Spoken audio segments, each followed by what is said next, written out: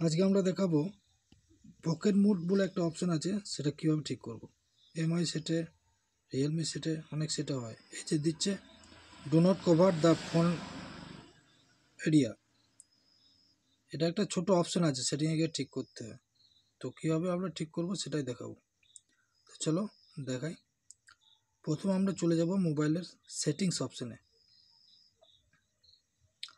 আচ্ছা সেটিংস অপশানে যাওয়ার পরে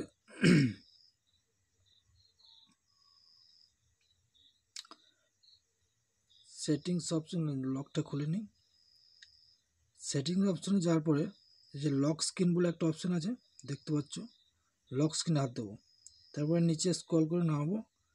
পকেট মুড বলে একটা অপশন আছে, এটা অন করা আছে, এটাকে আমরা অফ করে দেবো। তাহলে আমাদের সমস্যাটা মরে যাবে। তাহলে যে লক খোলার সঙ্গে সঙ্গে ওই লেখাটা আর দেবে না।